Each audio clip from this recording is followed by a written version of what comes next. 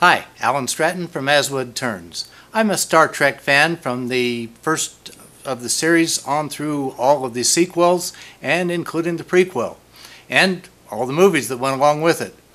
The other night I was watching a rerun and it was a touching story on Next Generation, I think called Inner Sight.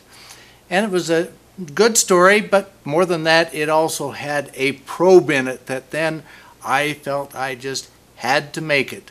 So this probe is inspired by that Star Trek.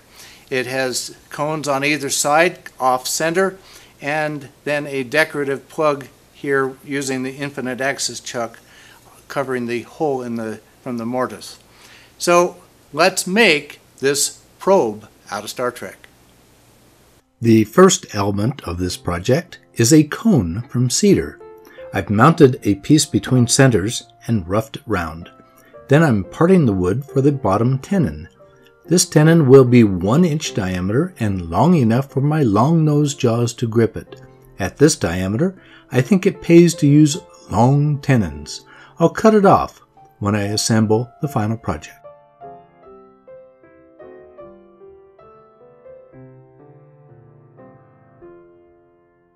With that tenon done, I'm moving to the other end and marking 6 inches from the base. Then I'm parting to mark my place before wasting away most of the excess. With the top and bottom marked, I can start forming the cone. This cedar is soft enough that peel cuts with a skew work very nicely. I peel with the skew almost at a tangent to the work, then arc toward the center, taking little bits at a time. With most of the wood removed, I can take a slicing cut with the skew that leaves the wood nice and smooth. Then I'm switching the cedar over to my long nose jaws in the chuck. In the chuck, I can finish the very top on the lathe. I want perfect cones, so I'm sanding first with my 80 grit sanding board to remove any remaining waves. Then hand sand up through the grits and apply brushing lacquer to the cone. Then wipe off the excess lacquer.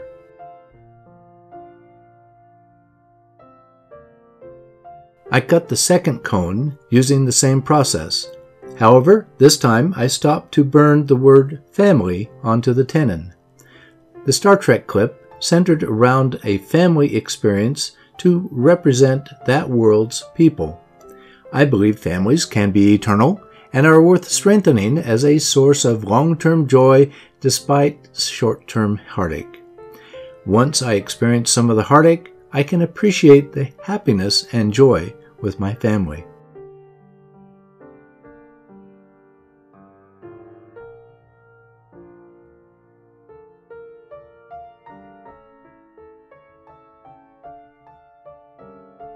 The midsection is more complicated. In design, I contemplated drilling from opposite sides, but with a high risk of misaligning the two cones. I decided to drill both holes from the same side and put a decorative cap opposite the cone. So now the wood is mounted to a faceplate with double stick tape. I'm smoothing one side of the midsection, sanding it, and applying lacquer to the one side.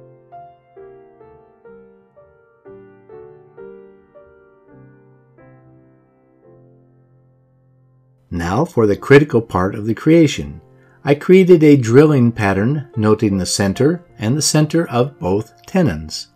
This is glued to the rough side of my cedar. Then, while aligning the tailstock to one of the tenons, I'm mounting this wood to the faceplate with double stick tape and hot melt glue for insurance. Then drill a 1 inch hole clear through the wood for the tenon. With one hole done, I'm prying off the wood from the faceplate, cleaning up the faceplate from the hot melt glue, then aligning the live center to the second tenon center, and again press the wood against the faceplate with double stick tape and hot melt glue.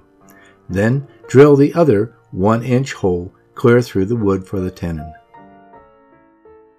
Finally, I'm remounting the wood to the center mark again with double stick tape and hot melt glue. Now I need to clean up this surface and form a cove on the perimeter edge. I'll sand this section, then sign before applying lacquer to the remaining surfaces.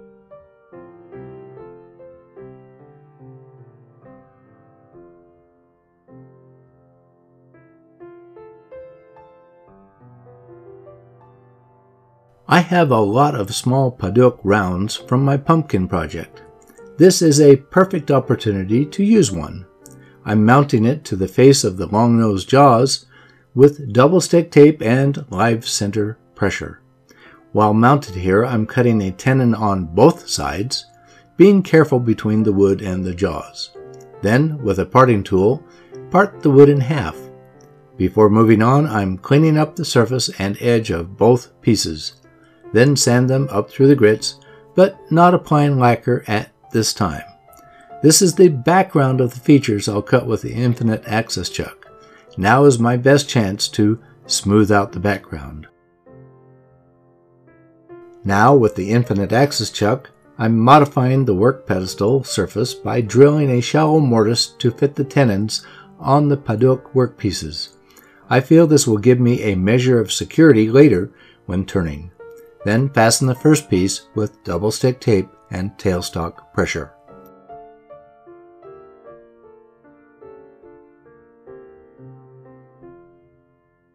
Then position the chuck for the first feature. With a sharp small gouge, I'm cutting in this feature, then gently sand the fresh wood.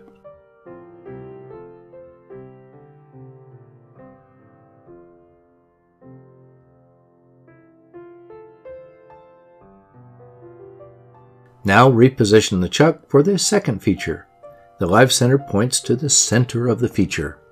Again, with a sharp small gouge, I cut a different shape and sand.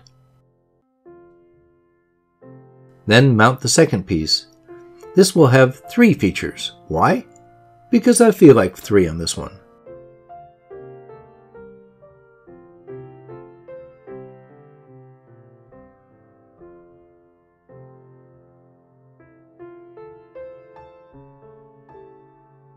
Then assemble the cones to the middle section after trimming the tenons. Then the tenons on the Padauk features fit opposite the cones. They'll provide some outer space features to my alien probe. So, where do project ideas come from? Anywhere. Anything you see as interesting may be adapted to a neat wood turning project. I like my alien probe and the message it brings to my memory.